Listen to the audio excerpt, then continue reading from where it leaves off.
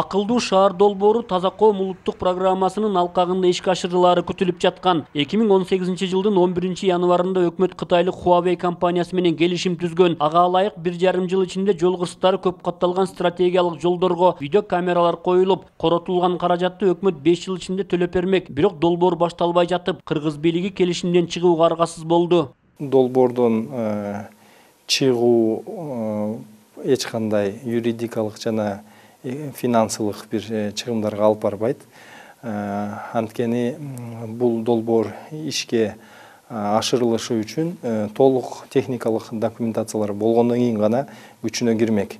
Бирок акылдуу шаар долбоорун мамлекет өз күчү менен курушуна айрым эл өкүлдөрү ишенбейт. Анткени алтымыш миллион доллар каражатты табуу булагы аныктала элек. Ошондуктан өкмөт башка инвесторлорду таап долбоорду батыраак ишке ашырбаса өлкөдө автокырсыктардын саны кыскарбайт. Акылдуу шаар боюнча эми жалгыз эле бул инвесторлорду карабастан ички булактардан болобу же тышкы инвесторлор боюнча эми ишти алып барышыбыз керек. Албетте болоор иш болду бирок бул долбоор бүгүн болбосо эртең срочно бүтүрө турган иш да ошон үчүн мен ойлойт элем азыркы өкмөт башчыбыз дагы тез арада бул маселени чечкенге баардык күч аракетин жумшаш керек соңку кездерде өлкөдө адам өмүрүн алган жол кырсыктары байма бай жүз берип жатат. Анткени менен өлкө жарандарынын коопсуздугун сактоону чет элдик компанияларга тапшыруу туура эместигин тынчтыкбек шайназаров айтып акылдуу шаар долбоорун өкмөт өз дарамети менен куруу демилгесин колдойт башка чет мамлекеттин компаниялары негизинен эле башка мамлекеттер кыргызстанга жакшылык каалабайт.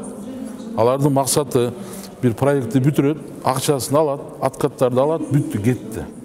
А барып барып баягы эле ошо кыргыз элинин мойнуна ошол кредит бүт карыздар жүктөлөт азыркы биздин өкмөттүн кадамы чечими бул эң туура мен эки колдоп колдоймун эки миң он экинчи жылы ошол кездеги өкмөт коопсуз шаар долбоорун сунуштап бирок тендер чырына байланыштуу алты жылдан бери токтоп турган мынтип анын ордуна сунушталган акылдуу шаар да максатына жетпей калды чет элдик компаниялар менен түзүлгөн келишимдердин ийгиликсиз аяктап жаткандыгы өкмөттүн кадыр баркына көлөкө түшүрөөрүн талдоочулар белгилешет өкмөт деген бул расмий орган ошон үчүн бирөө менен кол коердон мурун ал компанияны булар жүз жолу изилдеп чыгыш керек эмне үчүн анын тегерегинде кеңешчилери жүрөт кеңешчилер бул коомдун гана сынын тосуп бере турган калкан катары функция гана аткарбастан негизинен ошол алар менен келишим түзөм деп жаткан компаниялардын аброюн ага чейинки тарыхын алардын кылган ишин изилдеп негизи жүз жолу ойлонуп чыгып анан кол коюла турган нерсе да бул оюн эмес да өткөн жылы эле кыргызстанда алты миң үч жүз кырк алты жол кырсыгы катталып андан миңге жакын адам курман болгон. Эгер жолдорго видео байкоолор орнотулса автокырсыктардын саны кыскармак. Алдыда акылдуу шаар долбоорун өкмөт ишке ашыра алабы же кайра эле чет элдик компаниялардын көзүн карайбы деген коомчулуктун суроолору ачык бойдон калууда. Рустам алымбаев ынтымак бишкек.